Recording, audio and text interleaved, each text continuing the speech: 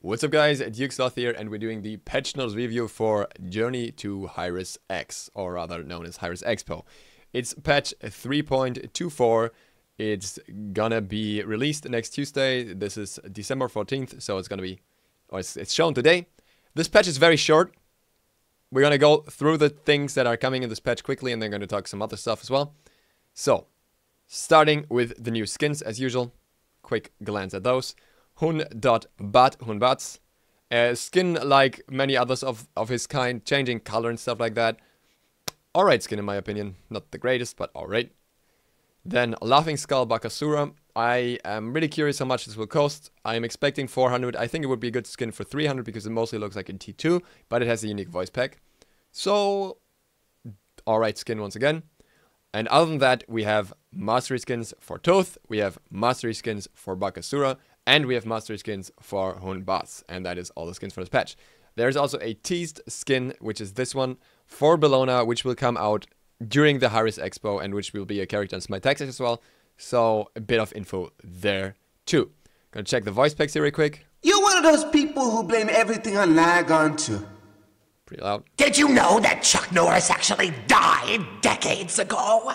I still haven't worked up the courage to tell him. And that's it. We have Ullr Dance Emote. Haven't seen it actually. We have achievements for Nike, as she's apparently called now.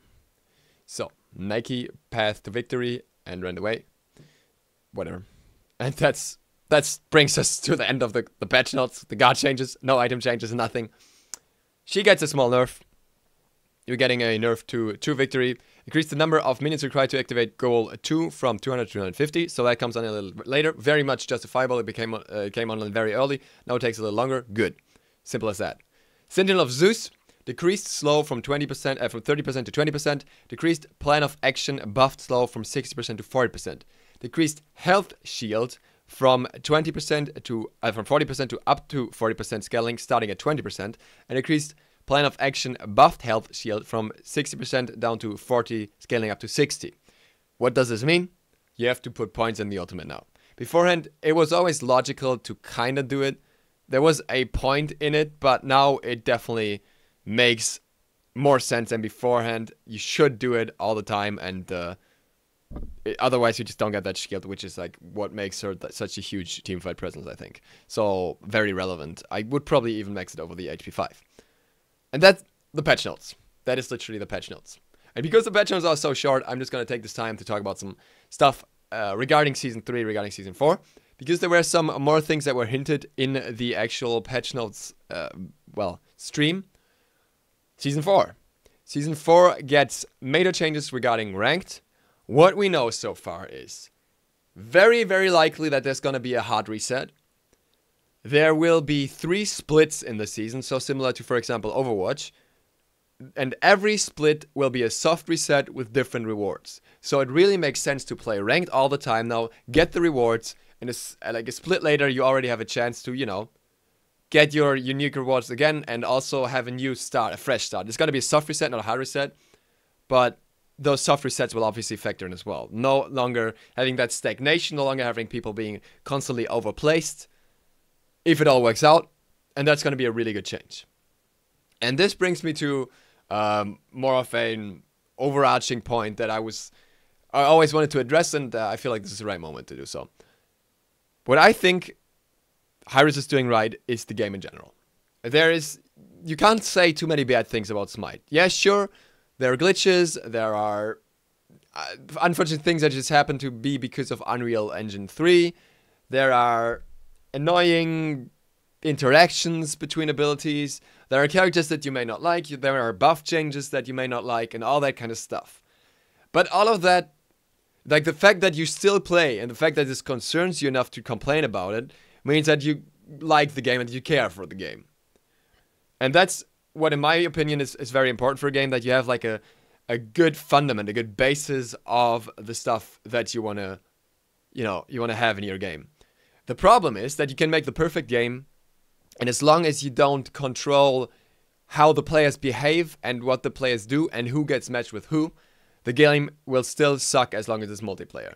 So crucial points of that are especially matchmaking, but also how do I handle harassment? How do I handle people that constantly disconnect from games? How do I handle that kind of stuff? Everything that ruins the experience for the nine other players that are in the game with that person, or less, depending on the game mode.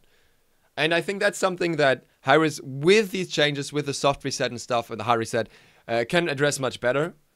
And I hope they will. And I hope there will be uh, steps towards, especially like uh, reports as well, that, that will be taken. Because what we heard on the stream today was not exactly encouraging in that regard. Made basically a Hi-Rez employee harassing others and um, not really getting the punishment that you'd expect him to get. So that didn't really give off the right signal. And maybe that's something to to work on. Um, other than that, I am very curious what's going to happen in season four. They said that the map changes, from what it sounds like, are not going to be too big. I was hoping for big map changes. I was hoping for something for the jungle. Um, as a jungler, obviously, I, I'm tired. I'm tired of the mid lane meta, and the mid lane meta has been there forever. It's been there since season two. In season three, it's gotten more extreme. People figured out how efficient it actually is.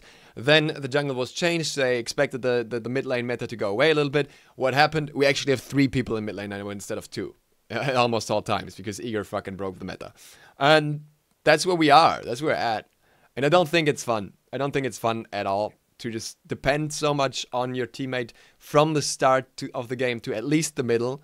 I can I can understand the the fact that uh, we'd like to, you know, have a team game where you have to depend on players at certain points, but the fact that you depend on players for so much of the game in most roles can be very frustrating. And I think that's something that should hopefully be, you know, stretch out the field in season 4 give it some room for every player to perform individually instead of being like tied to another one.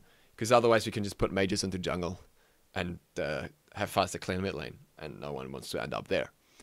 So that's another point. Uh, what I also think is that we need some more, um, like some less focus on specific guards when it comes to skins. Like Bellona's getting yet another skin.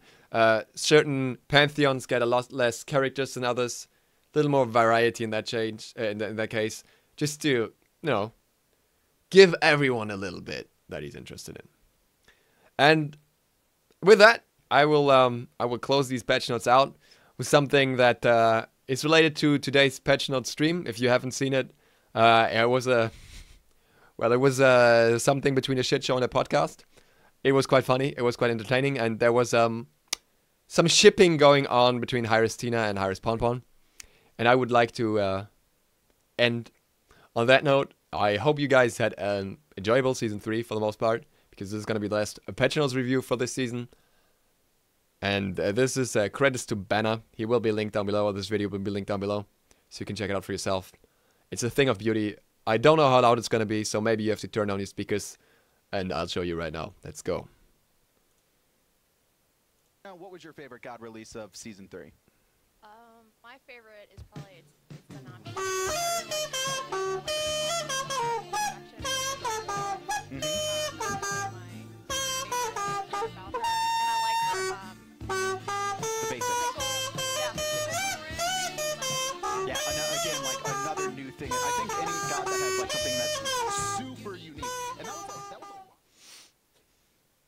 Love you guys. See you in the next patch notes review next year or in the next video in two days. Thank you for watching. Duke Sloth. Out.